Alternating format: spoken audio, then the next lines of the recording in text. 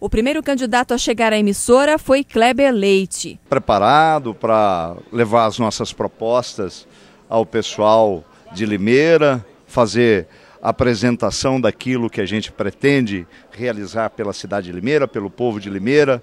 Estamos muito tranquilos, muito à vontade. Logo na sequência, chegou o candidato Paulo Radic, primeira oportunidade de todos os candidatos estarem se expondo pela primeira vez, fazendo um confronto de ideias, e eu acho que a sociedade toda vai ganhar com isso. O candidato Luiz Henrique Quintal também chegou à emissora com bastante expectativa. É uma grande oportunidade dos candidatos né, apresentar e a população acreditar um pouquinho mais. Eliseu Daniel foi o quarto e último candidato a chegar para o debate muito preparado para discutir as propostas da nossa cidade que interessam a toda a população. O encontro entre os candidatos marcou o início da cobertura da TV Jornal nas eleições 2012.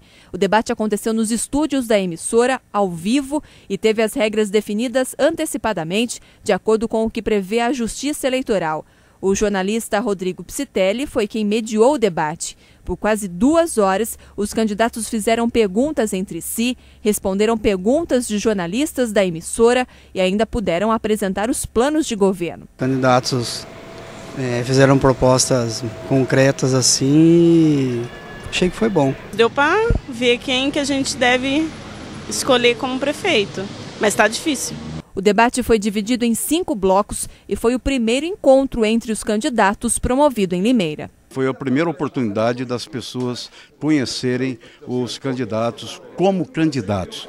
Todos nós já somos conhecidos, tem uma história na cidade, mas conhecemos como candidato e o início da apresentação das propostas. Às vezes não dá para você colocar tudo aquilo que você quer colocar para as pessoas em casa, mas levamos dentro do possível as nossas propostas. Nós precisamos levar ainda mais outras propostas, que nós temos várias, mas o debate foi muito positivo. Os candidatos expuseram suas ideias, foi um debate realmente de propostas, não foi um debate, sabe, com pegadinhas. Eu acredito que foram felizes os candidatos apresentando suas propostas, os seus pensamentos, para aí sim a população decidir quem é que vai para a, para a Prefeitura da cidade de Limeira. Gostei muito do, do resultado, do alto nível das perguntas, e eu tenho certeza é, que a população, conhecendo as propostas dos candidatos e participando, acompanhando os debates, ela terá melhores condições de escolher aquele que será o melhor prefeito